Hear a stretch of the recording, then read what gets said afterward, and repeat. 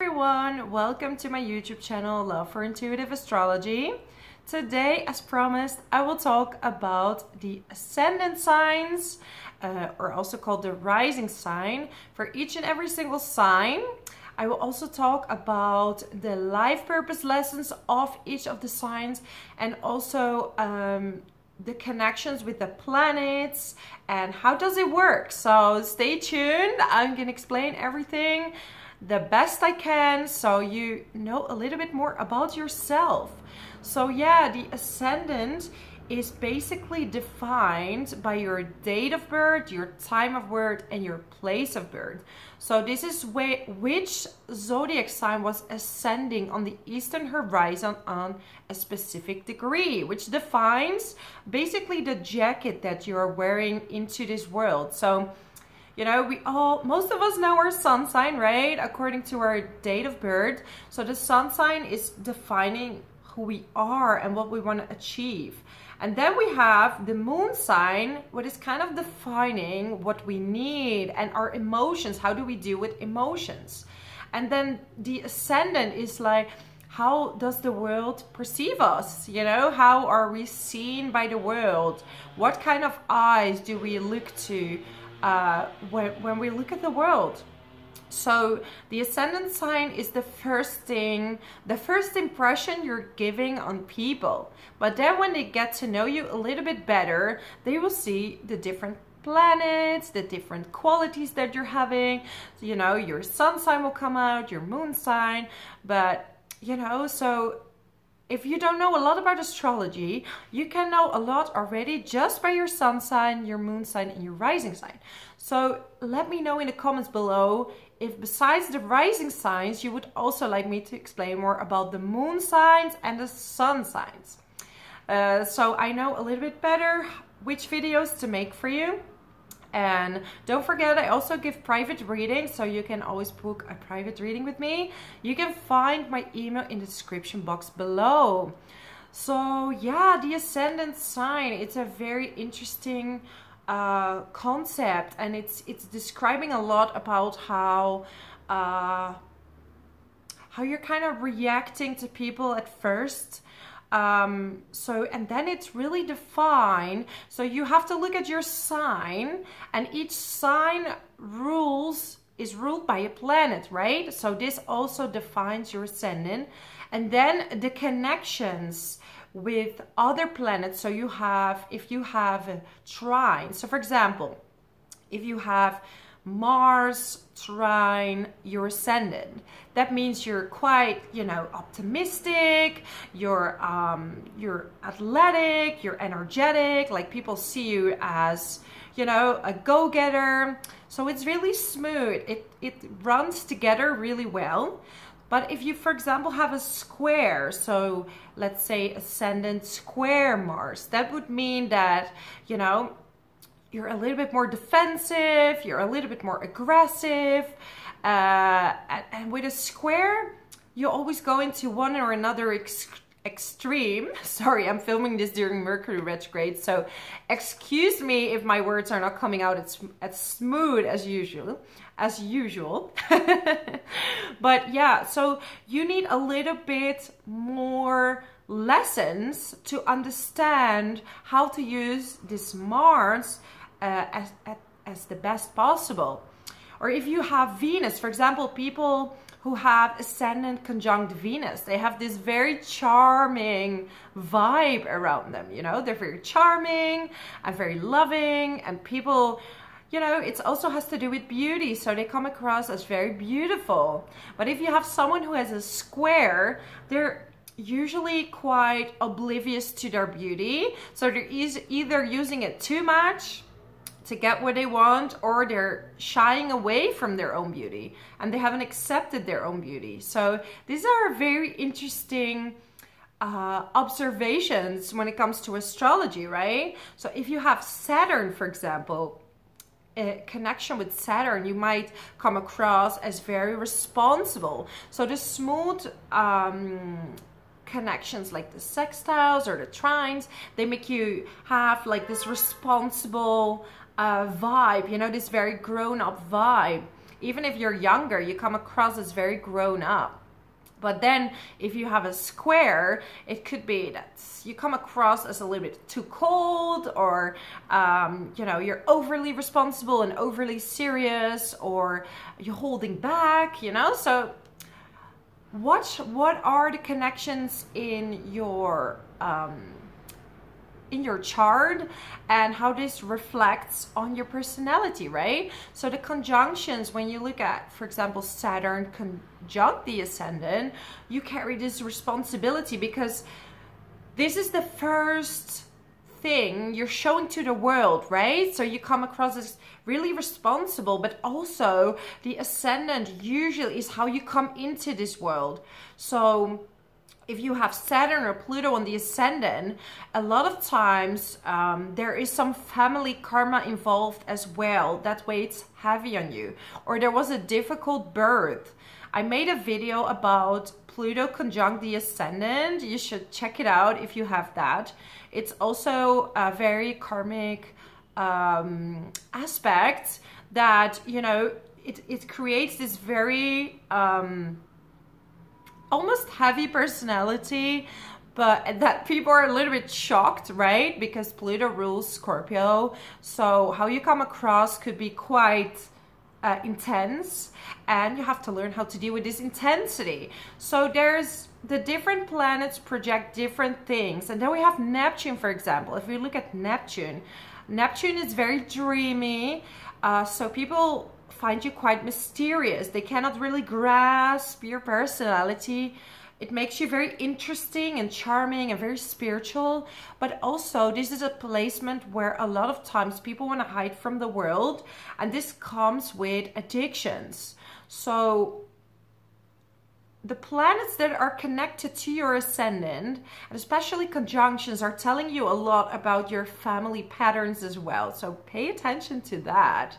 Um, I just named a few examples, but you know, like I said, you can book a private reading if you want to know more about what does this mean in your private chart because the ascendant just describes how you come across, um, the entrance of your personality, you, the entrance, how you came into this world, and how you perceive the world. So, and how the world perceives you.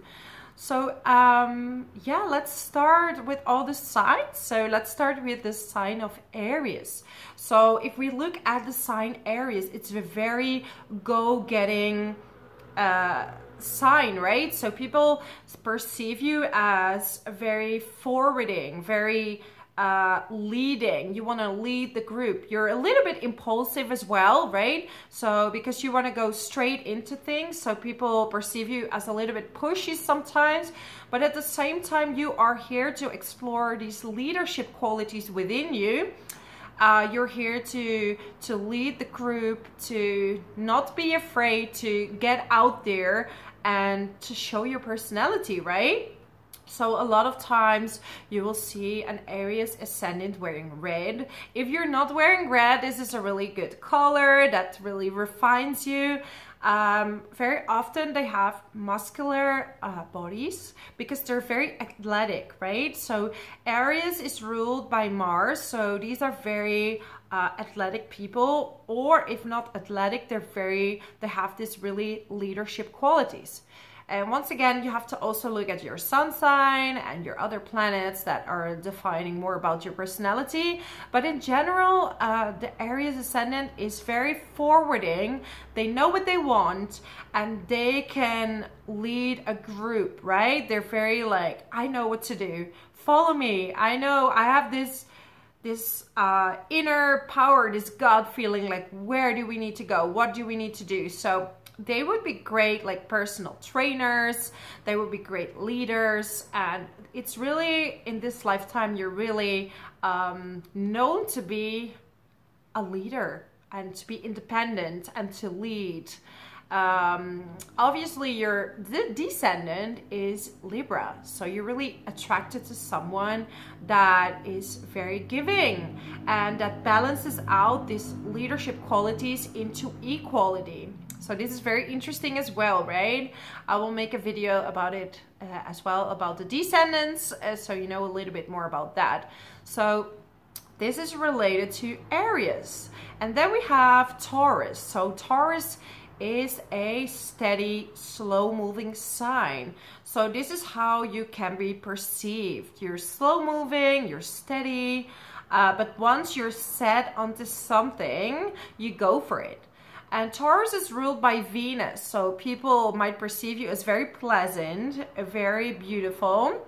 Um, you really like the refined things in life, so you might dress like someone that maybe branded clothes or very beautiful clothes that uh, really make you stand out. You know, like girls will take care of their hair, will take care of their makeup.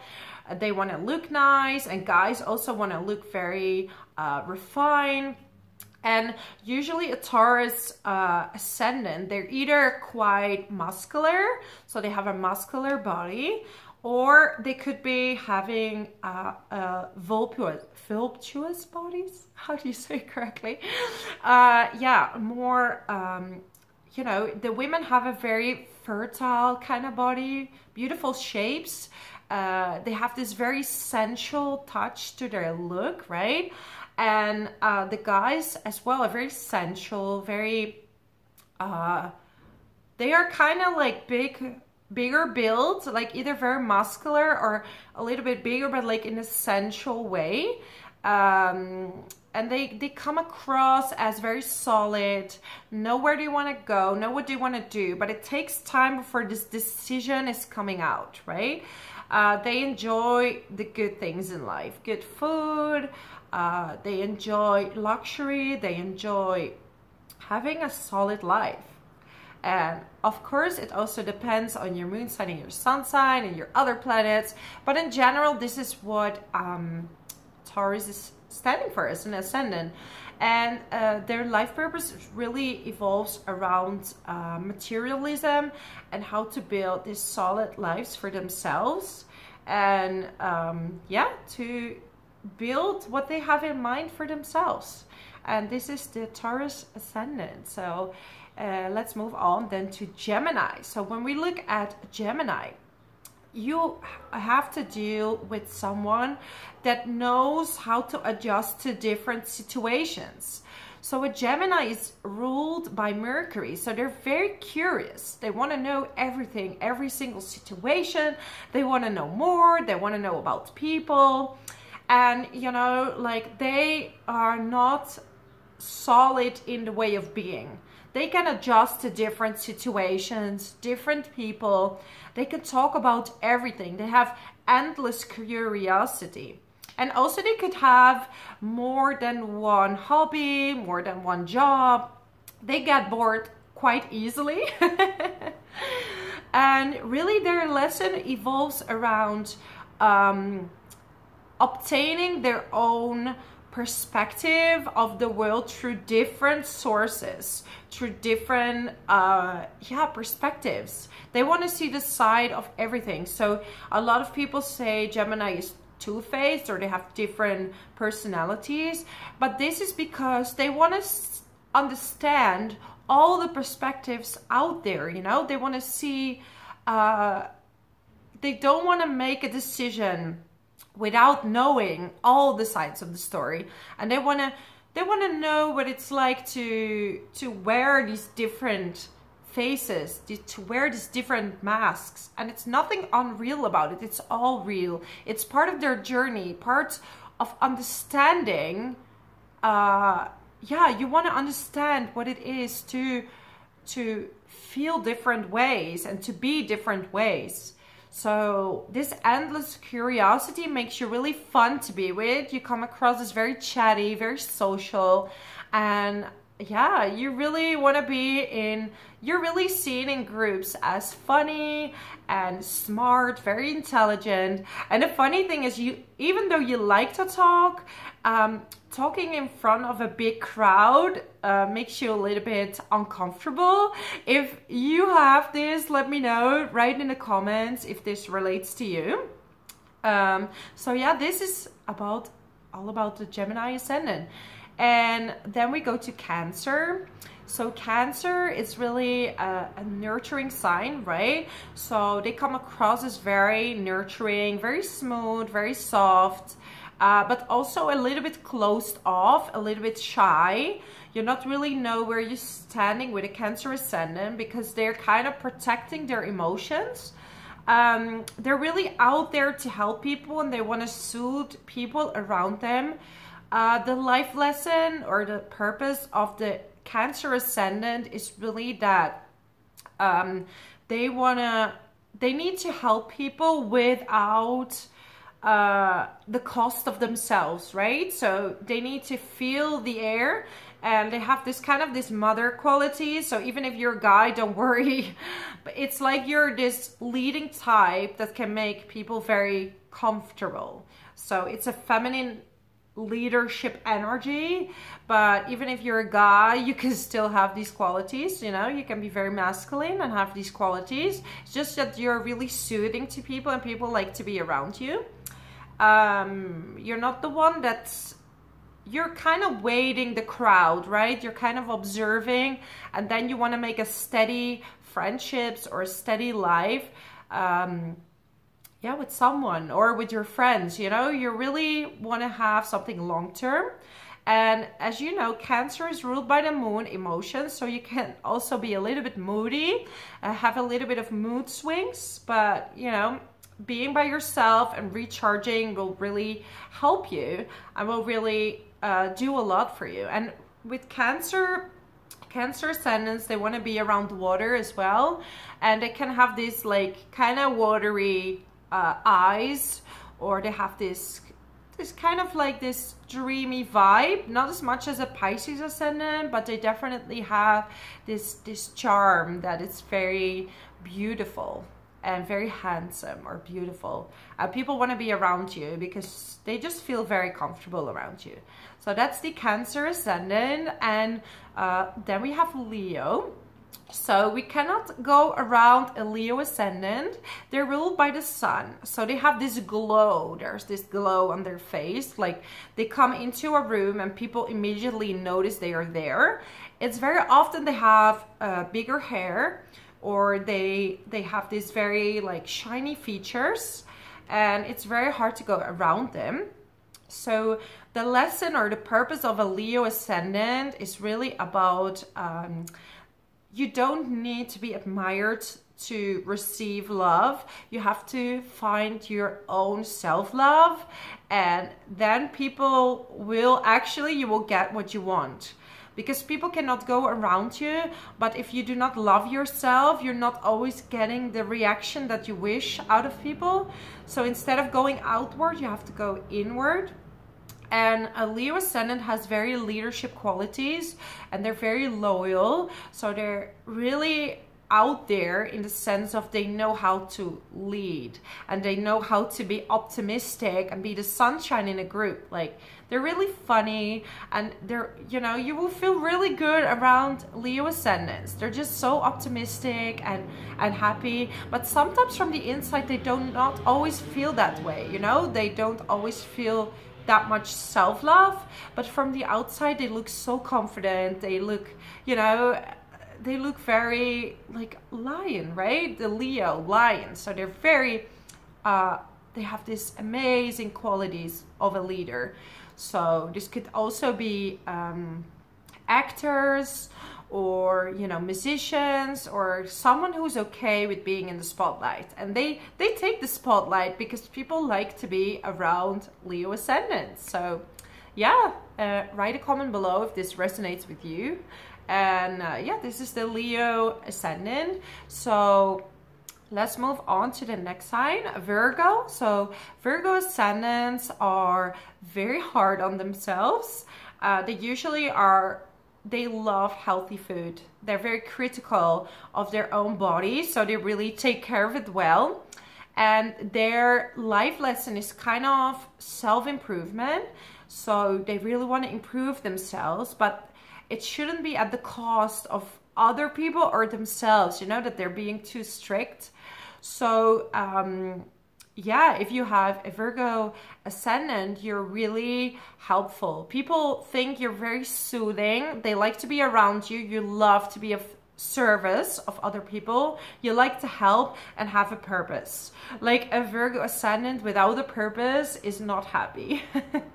you want to do something useful, you know? And uh, the best is that people are noticing your your qualities, right? So sometimes Virgo ascendant, it's very important that you get out there and you show the world what you are capable of because you're very intelligent. You're ruled by Mercury. So you have a huge intellect. You know how to solve problems and you know, you're often a problem solver in the group. And people see you as someone very analytical. They see you as uh, they, they, they come to you for advice. They know, uh, they know that you know how to help people, right? Or how to be of support. So this is mainly uh, everything about Virgo ascendant and they have this very charming like kind of cute vibe and um, they might also be quite young looking. So this is different for all the Virgo ascendants of course but they have this kind of youthful vibe. And this is the same as Gemini ascendant because you're both ruled by Mercury uh, which is kind of a witty fun like planet that gives like a young glow so, um, and then we have the Libra uh, ascendant, and Libra is ruled by Venus, just like Taurus, and they're very charming. They're very, um, they have this charm. It's like a cute charm that uh, draws a lot of people in. And this is good because Libra ascendant really wants to experience relationships. This is how they define themselves. So they look around and relate to other people. And by relating to other people, they kind of understand themselves better. Um, so no wonder they're attracted to Aries with more self-focus. So you balance each other out, right? So Libra Ascendant is really about the skills. You might have a little bit of issues uh, making choices. Sometimes making choices is a little bit difficult for a Libra Ascendant. Uh, but you could be very artistic and um, you have very refined features and you like, uh, especially well, females, they like to have beautiful makeup and men just like to dress really nicely and to impress and they're very diplomatic. So they have this soft touch that to the outside world is very soothing and you know how to be this kind of mediator. That's how you know you're often in in jobs or in situations where you like you're the suitor of a group right? So yeah very pleasant to be around. So yeah your purpose is definitely not losing yourself in relationships right? So there needs to be a limit to relating to other people not at the cost of yourself. So it is finding balance even though in relationships uh, finding balance with yourself and um, yeah, making the right decisions in life. So this is for Libra. Let's move on to Scorpio. So a Scorpio ascendant, they're quite intense. So you can definitely tell when a Scorpio ascendant is walking into the room. They have this very uh, mysterious uh, kind of sexual vibe that makes people sometimes a little bit awkward. It's like quite intense. So people are like, okay, wow. So instantly someone is either very attracted to a Scorpio ascendant or it's like an instant repellent because they feel this power it's ruled by pluto so they feel this power that they they have and they feel like yeah, other people feel a little bit intimidated. But others are like, wow, this is mysterious. I want to know more. I want to know more about this person. This person is very interesting, right? So um, your soul lesson uh, is quite tough. Uh, it is not an easy ascendant to be born with. So uh, a Scorpio ascendant really has to go through like uh, cycles, you know, like dead, rebirth, and then rising from the ashes like a phoenix because it rules the eighth house, right? And th this is all about cycles of life. So you will go through different cycles and you have to learn how to forgive people that not always nice to you. And you have to forgive yourself for not always being nice to people either. Because you got this type of power that you know how to manipulate people but at the same time this power you can use for the good. So it's really up to you how you use this power. So maybe when you're younger you have more of a jealousy and these kind of things. And when you're older you're really using it to help others. And you become very straightforward and solid and you you know very honest and light uh, I have a Scorpio ascendant myself, so I'm, I'm talking from experience that you have a very regenerative spirit. You can help a lot of people grow. So yeah, and you're a very, you have a little bit of a intimidating sexual vibe that draws people in. So my recommendation is use, sorry, use this power for the good, use it to help people and you'll get really far. So yeah, this is for Scorpio Ascendant. Let's move on to Sagittarius Ascendant. I love the vibe of Sagittarius Ascendant. They're very optimistic. You can definitely see this glow. It's a little bit like Leo, but it's different vibe. I feel Sagittarius is very optimistic, funny, and you know, their purpose is surrounded by relying on kind of luck so they're really these people that just do something and then it goes just well because you're ruled by Jupiter, right? But however, being ruled by Jupiter could also mean that uh, you have to watch your weight a little bit because it's all about expansion. So you will perceive a lot of luck when it comes to learning, traveling. You're a very good teacher. People love listening to you you like this adventure of going out there, getting to know people. That's why you're such a good match with Gemini. You're really like, you're getting out there together, explore the world, and um, yeah, Sagittarius, you this this rising sign really wants to know all about spirituality or philosophy, culture, want to know more about the world. You're definitely uh, not a small perspective person. You're really all about big perspectives. And uh, yeah, what is the world about? You're not about the small details. You're really about uh, seeing the bigger picture, and that's where you what you want to focus on. So a very optimistic person that people love being around. You're a bit jolly. You're funny. People want to be around you because you have a lot of humor. I mean, it all depends of course on the rest of of the planets that you have but in general sagittarius rising is very pleasant to be around. So yeah, that's what's for Sagittarius. And then we move on to Capricorn. So a Capricorn uh, is immediately noticed. They have this very uh, vibe of responsibility. So they're very like mature. This is a very old soul type of person that, you know, knows what it what it means to have responsibility. So you're ruled by Saturn.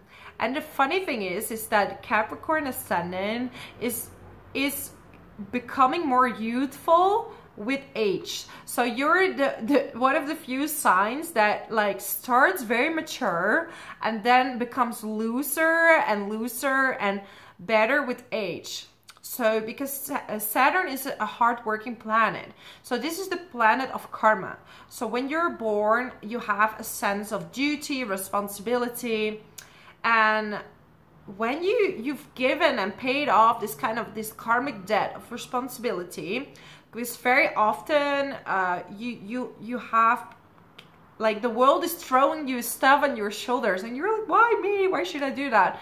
But then when you the hard work paid off you become younger you become more youthful you become pleasant and people come to you for advice you're a great advisor like you're a leader you know? You're very much like authority like you're this presence that people are like wow okay i'm i'm not gonna go against this person i really trust what they're saying and you definitely know what you're saying because when you say what when you speak you've thought it through and you know what you're talking about because you're the sign that knows how to work hard for what they want so you're perceived as like very mature and people feel like kind of like a father figure. So you know it's like the same as the opposite uh, sign of cancer. When i said it has like this leading motherly vibe this is a leading fatherly vibe.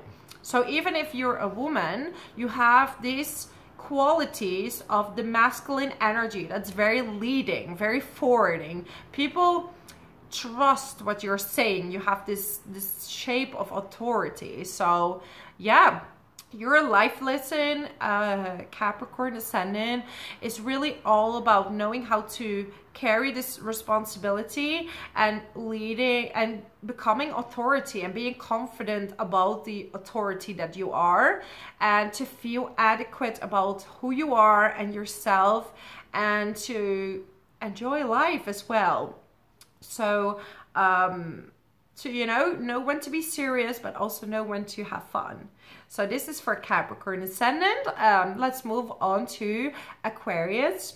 So when we look at an Aquarius rising or ascendant, this is someone that's very out there, very funny. You cannot go around them because they have their own style. Like they want to be different because you're ruled by Uranus. This is a very uh, scientific, quirky, out of the box planet. So uh, if you look at people with a very different look, right? This could be very much like an Aquarius ascendant. You like your freedom and you don't like to be stuck to routines like like you want to be kind of free or you want to have a job where you can be freely expressing yourself so this could either be like investigative or like like working in a lab but this could also be someone i don't know this could be someone with a very expressive look that tells the world how to be different. And being an example like aquarius is very good with for example as well as social media stuff like that. So yeah you're uh, a very inspirational sign and your lesson is that it is okay to be out of you know to be different like you don't need to adjust and conform to the world. You can be expressive and beautiful as you are. So uh, a lot of Aquarius Ascendant, they have a very um, like smooth, uh, very smooth skin and they have this very, um, they're very beautiful in the, they are different. They have kind of like an alien look, but it's very beautiful. So this is how you kind of can recognize uh, Aquarius ascendant and they love dressing differently or very stylish or but it, it has to be the way they feel that kind of can rebel right so they kind of can rebel and be different and express themselves so that's very very cool very cool people right so yeah let's move on to the last sign uh, Pisces so the Pisces ascendant this is a very dreamy look so they're very charming, very dreamy, very mysterious. Um, they do not really have this solid, uh, it's a bit like Gemini, but then a little bit different. They don't have this really solid uh, exterior in the sense of they know how to adjust to different situations because a Pisces as everyone feel very soothing they want everyone to feel good about themselves they want to they're ruled by Neptune, right? So they're they're they have insane psychic abilities. They really have this um, healing kind of vibes. And the only thing they have to pay attention to, and this is one of the purposes of Pisces, is that they do not, uh, they should not lose themselves uh, into like the world or into like all these emotions because very often they take on emotions from uh, other people. So they can carry energies from other people without knowing it. And then they suddenly feel like a little bit off and they feel like they're drowning into their own emotions. And it's not always their emotions. But you can recognize them. They have this dreamy look like, I don't know, like they're almost out of this world. So they're very yeah, I don't know. They have this watery, dreamy eyes. They're very like um, they're quite mysterious so people want to know more about them and it can be very spiritual uh, but yeah they should not give at the cost of themselves so they really have to you if you're pisces ascendant you really should stick to your uh, your inner core and try to find the stability and only then you can help other people um, yeah, so these were all the ascendants. Of course, this is like a, a short overview of all the ascendants. It entails, entails, entails my English so much more uh, than you think, write? So this is like a short introduction to the different ascendants. Um, right down below what the if this reflected to you and how this relates to your personality and um, also if you would like to me to do more videos like this, for example, about moon sign or sun sign or whatever other uh, connections or transits or stuff you like would like me to discuss, I'm happy to, to help you. So if you like this video, um, give it a thumbs up, subscribe to my channel. I hope to see you all soon again. Thank you so much. Bless you so much, a million. I love you. Bye bye.